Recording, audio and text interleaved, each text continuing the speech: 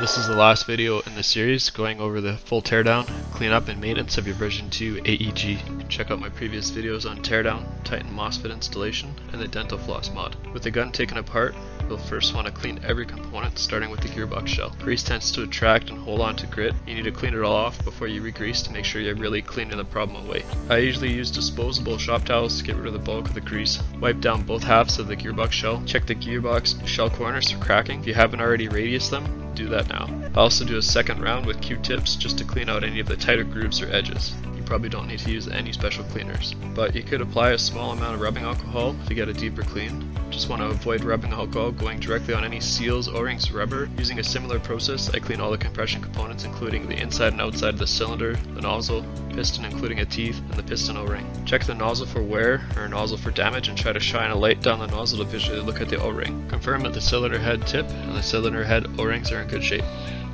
Check your cylinder itself for any scratches or damage. If you've corrected AOE on the cylinder head side, then confirm the AOE correction is still glued well. Check the tappet plate fin for abnormal wear or rounding.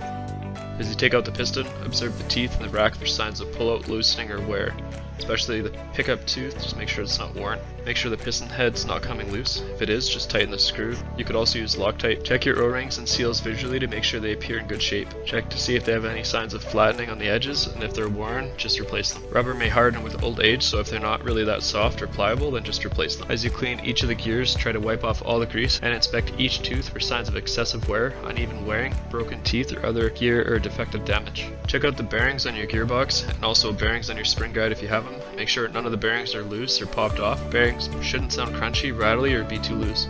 I'd recommend to steel epoxy the bearings or bushings down to the gearbox shell. Make sure this is a counter-furnace shimming and don't do this after you've already shimmed. Otherwise you have to reconfirm shimming of your gearbox. Be sure to wipe down the shims to get any grit or grease off both faces. Don't forget to track which face and which gear each of your shims came off during this process. Now would be a great time to install a MOSFET, run new wiring, or shim the gearbox if you had to. I go through the steps for Titan MOSFET installation by separate video. Be sure to check that out. You can apply fresh gearbox grease using a small paintbrush or toothpick and spread the grease around all moving parts. I'm using a Modify gearbox grease which is a fairly heavy synthetic grease. It's good for steel to steel or even hard plastic components. A lot of people tend to use superlube grease for this. Generally you want to avoid petroleum based products. Apply the grease to all sliding or contact metal parts including piston teeth, gear teeth, bushings or bearing and shim surfaces. You also want to check the motor pinion and clean and grease that as well. Reinstall all the components after you've greased. Avoid applying grease or heavy grease to O-rings, instead use a silicone oil. Always avoid any grease or any oil on the bucking. For oils I'll typically use 100% silicone oil of various weights.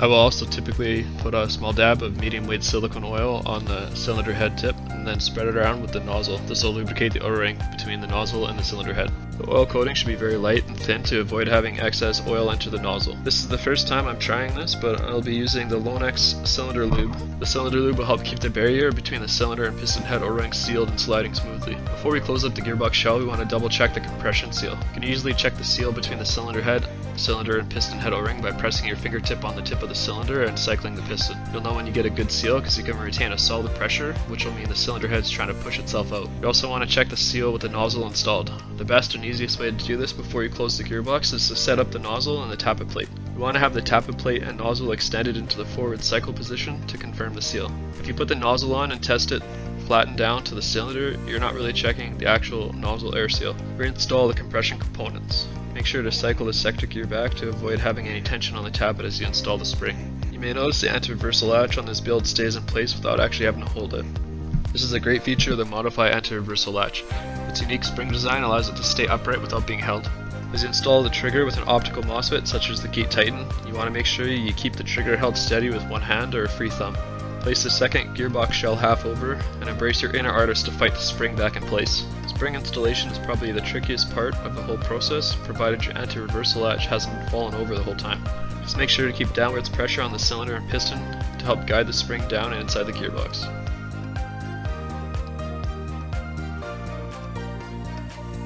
Don't forget to tighten all the gearbox screws. Reinstall the selector plate. With the Gate Titan, the selector plate spring, cutoff lever are now removed so the selector plate may fit loosely until it's in the lower receiver. Insert the gearbox into the lower receiver, secure the gearbox with a trigger retainer pin and large rear retainer pin.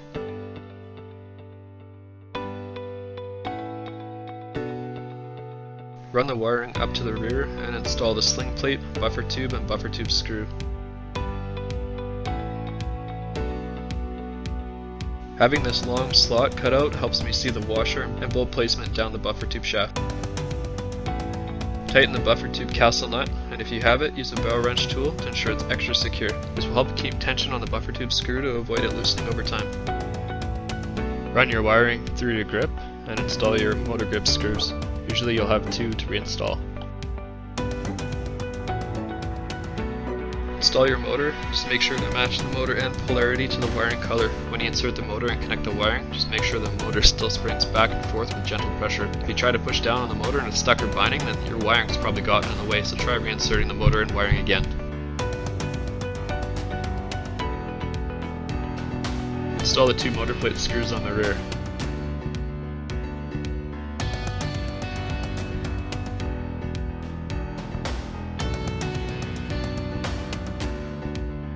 Install your mag catch and the bolt catch.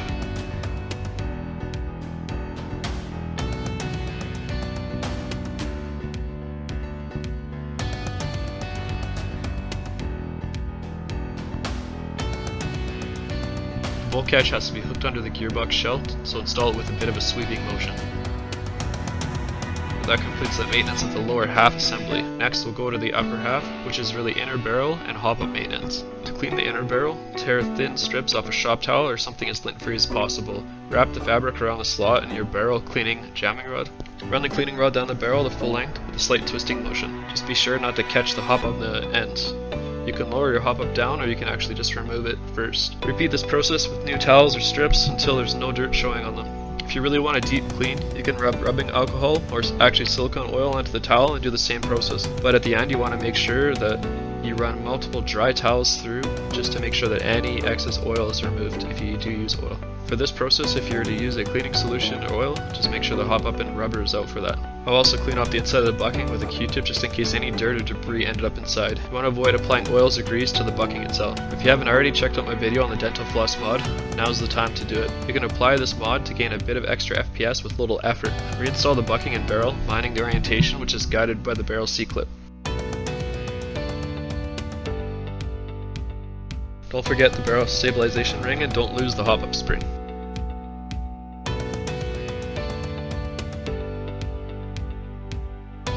Reinstall your barrel. If your dust cover popped off during the removal process, be sure to reinstall it with its spring if you care for it. Honestly, those things are just more annoying than good in airsoft. As you slide the upper receiver onto the lower shell, just make sure you mind the charging handle which might catch on the top nub of the gearbox shell. To avoid it catching just before you slide it back all the way, gently pull up and pull back on the charging handle to clear the nub. Don't pull too hard back on the charging handle because you can easily overstretch the spring.